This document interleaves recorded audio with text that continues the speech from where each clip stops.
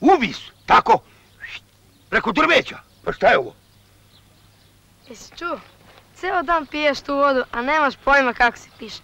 Ovo je pišanje iz malog mozga. To je meni od mog strica ostalo. Pa znam ga ja. Nemoj da ja sad opet pustim svoju vodu. Šta se ti miješaš poplavo jedno? Jeli? Grči nogu. Marko! Marko, ne daj se! Zgrizi mu ovo, Marko! Budi ga! Ne daj se! Pa ne daj se, Marko!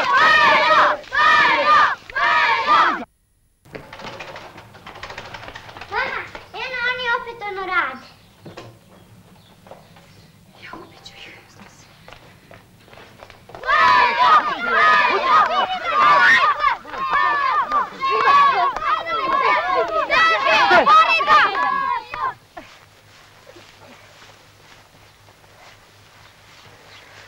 Marko.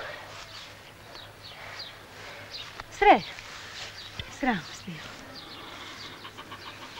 A i ti, deda Veso, mator čovek, se igraš za čurlijom. A? Odbornik. Pa, ja sam teo da izmirim. Na bunar! Vidi kako se. Vidi.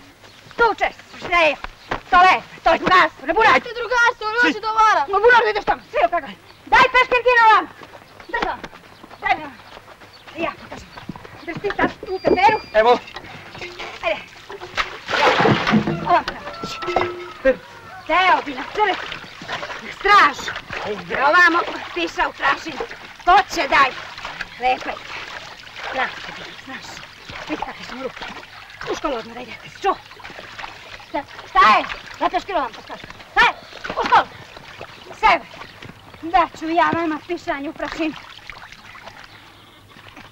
Ajde. Ajde u školu, inače će biti batina. Ajde. Partizanskoj školi nema batina. To samo rade fašisti. Fašista!